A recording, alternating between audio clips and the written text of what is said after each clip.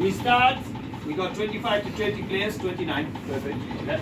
Goalkeepers, you will be working first with O'Toole and Coach Dibyendu.